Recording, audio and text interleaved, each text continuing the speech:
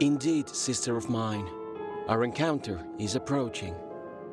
The miracle will protect me. I do not need your protection this time. Leave me alone.